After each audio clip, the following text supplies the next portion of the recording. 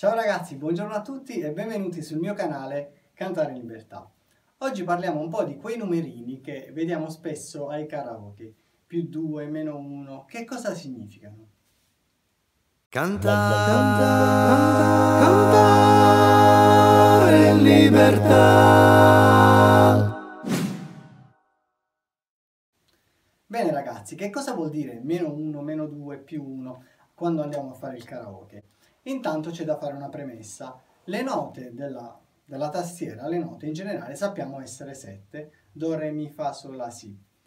In realtà ci sono anche quei tasti neri che sono 5 in un'ottava. Ottava è la distanza che va da una nota alla sua stessa nota più in alto, tipo Do, Re, Mi, Fa, Sol, La, Si, Do. Si ripete il Do oppure Re, Mi, Fa, Sol, La, Si, Do, Re. Queste sono tutte distanze che si chiamano ottave. Quindi un'ottava contiene 12 note in tutto se consideriamo anche diciamo, i tasti neri per quanto riguarda il pianoforte o comunque i diesis o bemolle. Quindi avremo Do, Do diesis, Re, Re diesis, Mi, Fa, eccetera, eccetera. Ora con l'aiuto del pianoforte vediamo insieme che cosa vuol dire cambiare la tonalità di una canzone, perché è di questo che si tratta. Bene ragazzi, eccoci sulla tastiera del pianoforte abbiamo dove ci sono i due tasti neri, qui c'è una nota che è la nota Do e quindi avremo Do, Re, Mi, Fa, Sol, La, Si, Do, come abbiamo detto, l'ottava. Vediamo che ci sono due tasti neri, poi c'è uno spazio qui in mezzo e altri tre tasti neri all'interno di questa ottava. Che cosa significa? Che per ogni nota la distanza minima si chiama semitono. Quindi dal Do a questo tasto che si chiama Do diesis, la distanza è proprio di un semitono. Il semitono è la distanza più piccola che ci può essere tra due note, mentre dal Do al Re la distanza è di un tono, che è la somma di due semitoni. Quindi questo è un semitono, questo sarà un altro semitono, dal Do al Re avremo un tono, dal Do al Re diesis avremo un tono e mezzo, e così via fino alla distanza in un'ottava, vediamo, partiamo dal Do, 1, 2, 3, 4, 5, 6, 7, 8, 9, 10, 11, 12 semitoni comprendono un, un'ottava intera.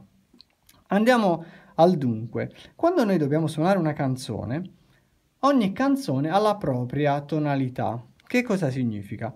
Che Solitamente l'accordo con cui comincia una canzone dà proprio la tonalità a quel brano. Facciamo un esempio molto facile, per esempio Do maggiore, Do, Mi, Sol forma il Do maggiore.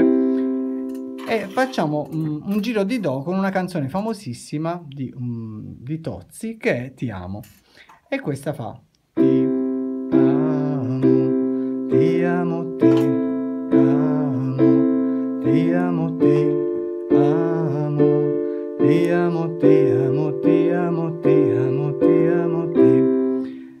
Fermiamoci un attimo qua. Se io mi accorgo che questa tonalità per la mia vocalità, per la mia voce, è un po' bassa, ad esempio, sentite ti amo, per me risulta un po' bassa, dovrò alzarla di qualche semitono in base a quella che è la mia voce. Per esempio la vorrei alzare di un tono. Significa che gli accordi che prima erano Do maggiore, La minore, Re minore e Sol maggiore, tutti si sposteranno di un tono.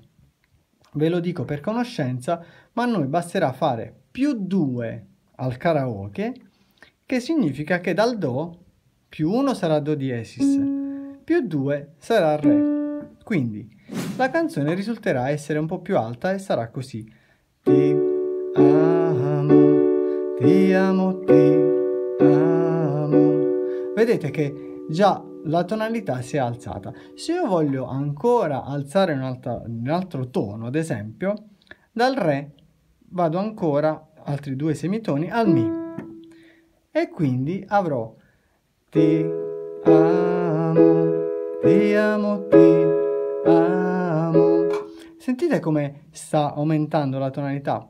E così via. Se io la facessi, ad esempio, partendo dal Sol, la tonalità sarebbe Sol maggiore, quindi 1, 2, 3, 4, 5, 6, 7, addirittura più 7, verrebbe così. Ti amo, ti amo, ti amo, ti amo, ti... Sentite, è molto più acuta così. Quindi ognuno può scegliere se fare una tonalità più, più alta o se va bene la tonalità di partenza, diciamo così. Allo stesso modo noi possiamo fare meno 1, meno 2, meno 3.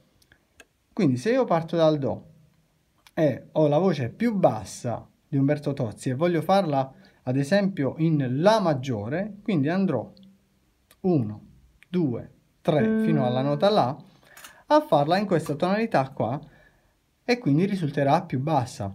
Ti amo, ti amo, ti amo, ti amo, ti amo. Sentite che la tonalità si è abbassata decisamente. In questo modo voi fate dei tentativi portando a più 1, più 2 oppure meno 1, meno 2, meno 3 la tonalità finché trovate la tonalità più comoda per voi sia nella parte bassa che per quanto riguarda gli acuti. Bene, spero di essere stato esaustivo e vi ricordo che non è importante cantare a una tonalità originale del brano, ma appropriarsi della propria tonalità e cantare bene qualsiasi canzone. Ciao, alla prossima!